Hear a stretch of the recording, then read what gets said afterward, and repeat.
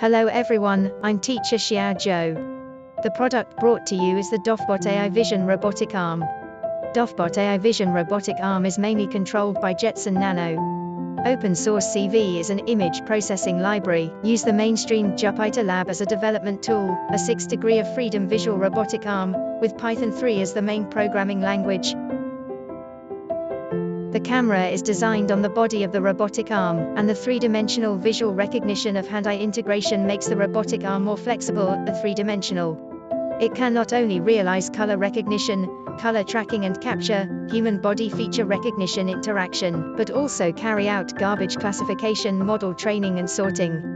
And through the ROS Robot Operation Control System, the 6 degree of freedom multi-machine control is simplified, making it easier for everyone to learn, use and control. Here is its overall packaging. Now let's open it up and see what's inside.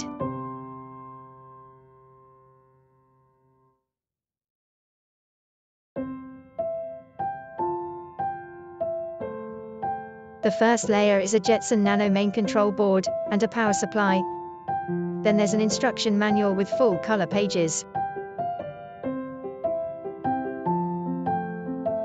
There are some parts lists and usage methods in this manual, which are very detailed. This motherboard is optional, and the package with the motherboard will give you an SD card with the factory image burned.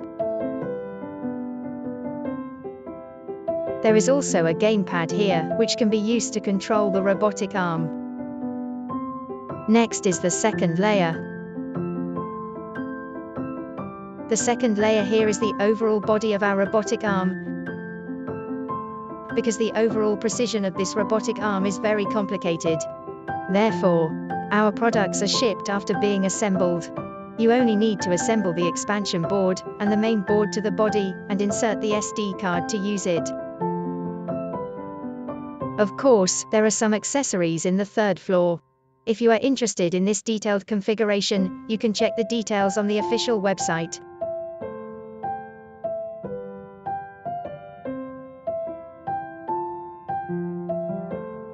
Now we go back to this machine.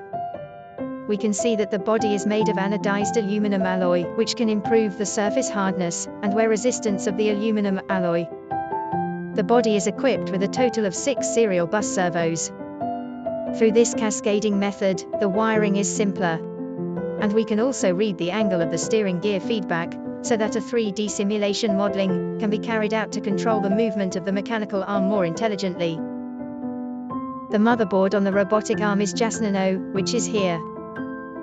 Jetson Nano has powerful computing power and image processing capabilities, and can run multiple neural networks in parallel, object detection and segmentation, and speech processing applications.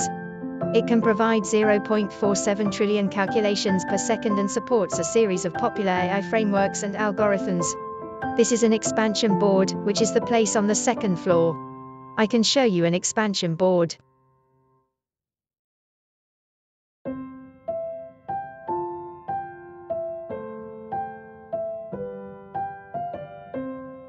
The extended version looks like this. Here is its wiring situation. You can see that the wiring is very simple. The steering gear is directly connected to the steering gear interface in this row, and it is an anti-reverse connection interface, so don't worry about plugging it wrong. Here is an OLED interface. Then there are three buttons next to it. The functions of these three buttons, after the first one is pressed, the servo can be centered. Then the second button, after pressing the servo loses torque. After pressing K2, we can move the servo by hand. Then the third button is the reset button. After pressing it, the coprocessor on the expansion board can be reset. Here is the interface of a PS2 handle. In addition, the expansion board also designed multiple interfaces. It is compatible with a variety of master controls, such as Arduino, 51, Microbit, 32, Raspberry Pi, but only one master control can be installed at a time, like the one we installed here is the Jetson Nano Master Control. In the software platform, we installed ROS in the Ubuntu system. ROS is the Robot Operating System, the abbreviation of Robot Operating System. This is a highly flexible software architecture suitable for writing robot software programs. We can use ROS to find the positive and negative solutions of the movement of the robotic arm, perform MoveIt 3D simulation modeling, and combine 3D simulation to control the robotic arm. In addition to PC three-dimensional control of the robotic arm, we can also use mobile phones and USB handles to control it. Now let's experience app control. Here I have already powered on, and then I will open the app. This app can be downloaded from our official website. For Apple mobile phones, you can download it directly from the App Store. Click to enter the first step is to prompt to install the map. Because its suction cup must be absorbed on the smooth ground, so I also prepared a smooth wooden board like this. Then remove the two suction cups in the first row.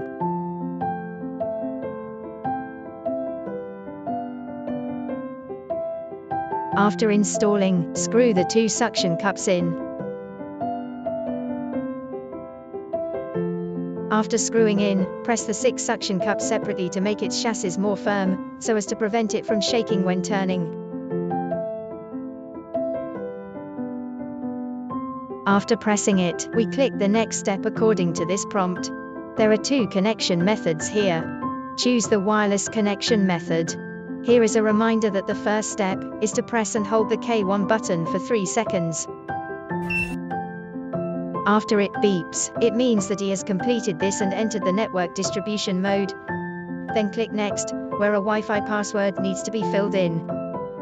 This password is the Wi-Fi password that our mobile phone is currently connected to. After connecting, click on the distribution network.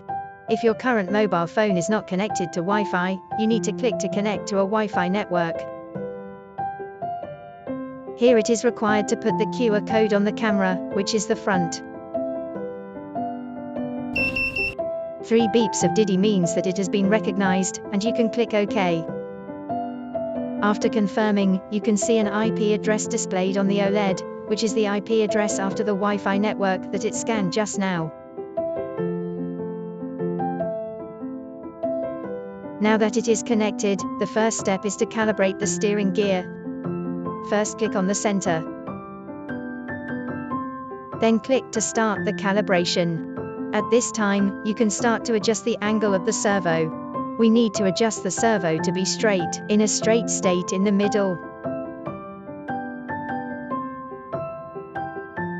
Here, we will fine tune it. After adjusting it, press its claws again. Otherwise, it may not be able to clamp tightly when performing some game recognition later.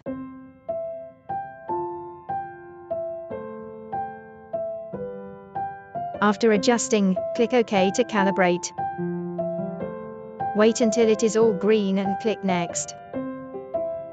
Now it's time to do a color calibration. When calibrating here, this black square needs to be in the middle of its screen, and then a small green square will appear. If some other rectangular squares appear, or this square is in another position, it means that the steering gear has not been calibrated well, you need to return to the previous interface, and then carry out color recognition after the steering gear is calibrated. Here, according to the prompt on it, first put a red. Now click on calibrate after showing OK, and then follow its prompt to turn green for the second time. Then the third put blue.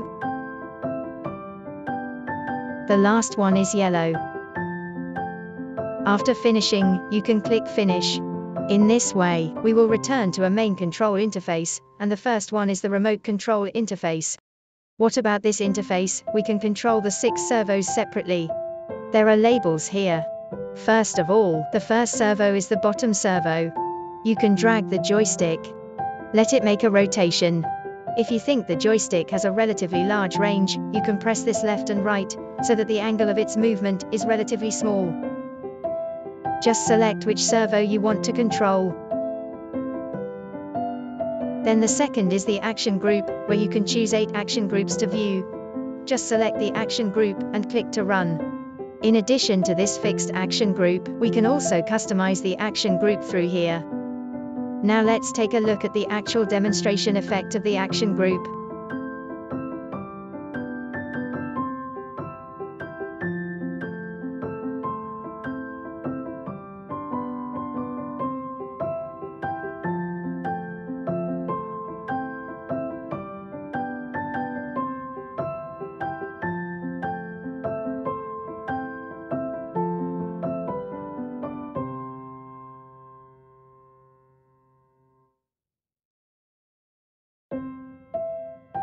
Next is gesture recognition.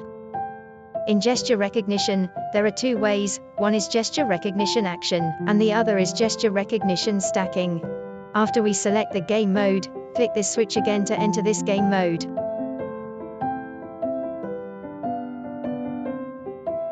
Now let's take a look at the actual demonstration effect.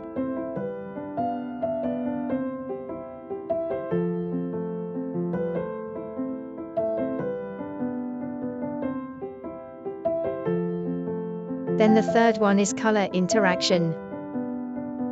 There are also three ways to play here. One is to catch and let go, one is to grab the color and the other is to lead the snake out. Everyone must click this switch to enter this game after the game is selected. Now let's take a look at the demo effect.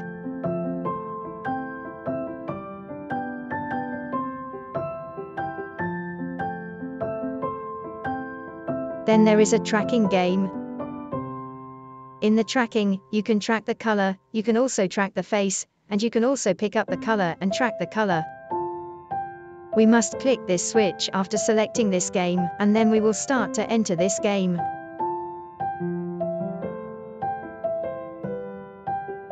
Now let's take a look at the demo effect.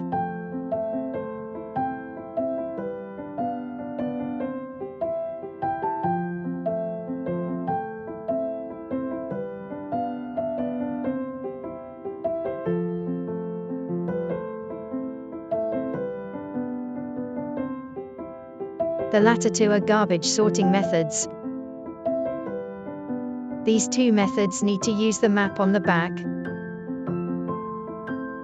Now we will return the map for it.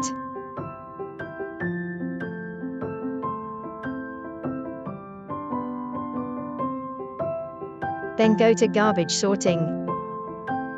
Here it is necessary to put the side with the trash icon on it, and then the side with the words must face the camera.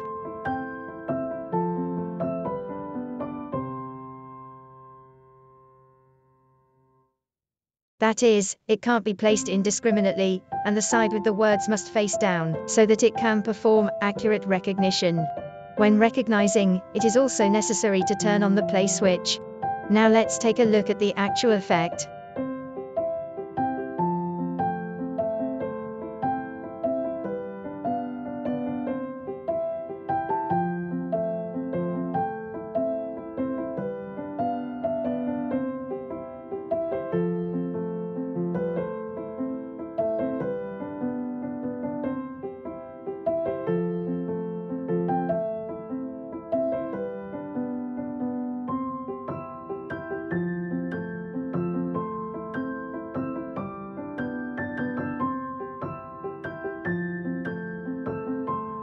And then a developer play.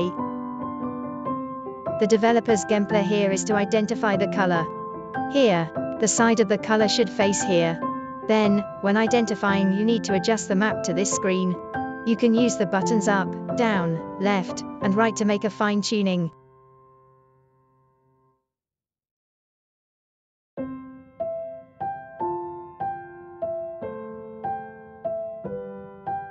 Then there are some colors here, which may not be recognized or recognized accurately, so we need to carry out a professional color calibration when conducting this experiment.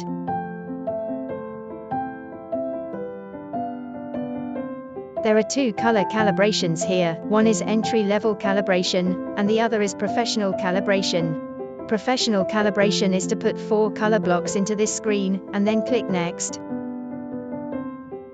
Then through this screen, we can see here that red, green, blue, and yellow are all recognized correctly, only red is not recognized, then we can select red. Then adjust the red color, which is the range of the specific adjustment value. You can refer to our tutorial. Each color has an approximate range. Adjust it according to the tutorial. A slight adjustment can get twice the result with half the effort. Then after the color is completely adjusted, then perform a game of this developer, the effect is the best.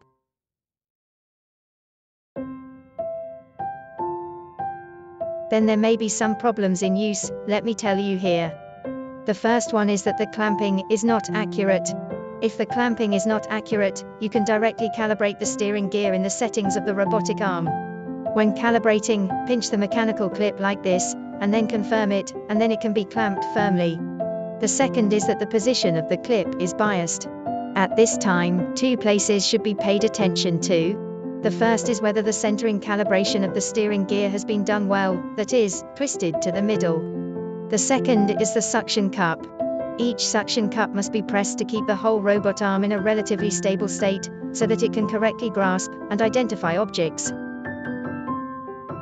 The third is that after I have calibrated the color at this place, it will not be accurate for color recognition at this position. This is because the value of the color block is different at different angles. If it is to be identified at this position, it is best to perform a professional color calibration at this angle.